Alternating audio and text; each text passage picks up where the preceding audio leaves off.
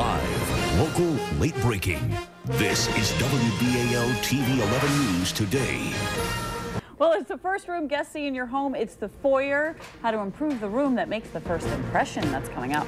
Your foyer. Well, my guest this morning says that your foyer is to your home is what a first date is to a long-term relationship. So how do you dress it up? Make a good first impression. Debbie Wiener of Designing Solutions is here to help. Thanks for coming in, Debbie. Oh, it's my pleasure. You know, I always think of the foyer as a blind date. Ooh. You get to the door, Lisa, you're hoping for the best. You want to see something you like when that door opens, and if you're lucky, you like it, whew, the rest right. of the day is going to be a snap. So we want to make a great first impression, and there are just a few key fundamentals that'll get you there. Okay. What's this that you brought along? That's part of it. We start with rugs.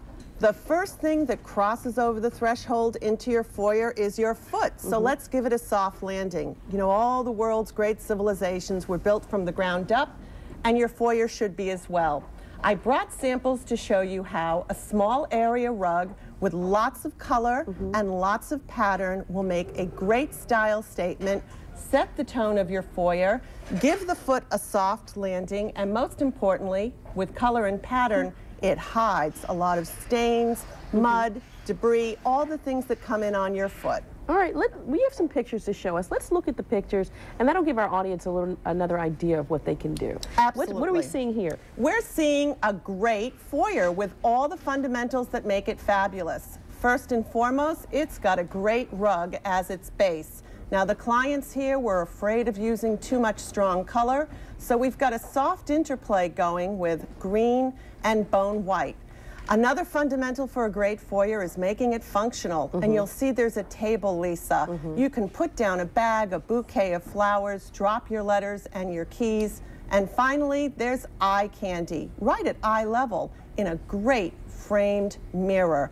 That sets off a beautiful mm-hmm. foyer. There's nothing else needed. All right, let's go to the next picture.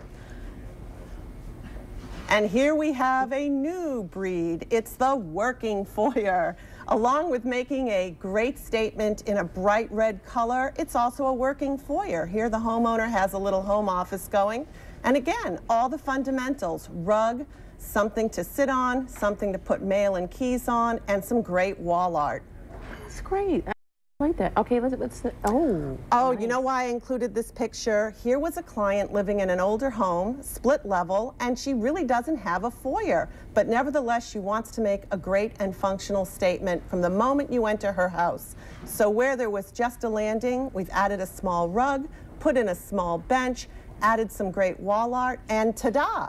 Space is not the issue here. She's still making a big statement without a lot of room. And you can do a lot of this on a, a you know small budget. Oh, a You don't to total a shoestring budget. Not only that, Lisa, you could do all of this in time for Thanksgiving.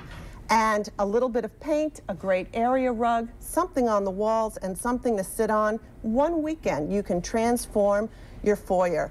Even if you burn that turkey on Thanksgiving Day, you've got a fabulous foyer. Let's go out and look at the foyer, everyone. All right, thanks so much, Debbie.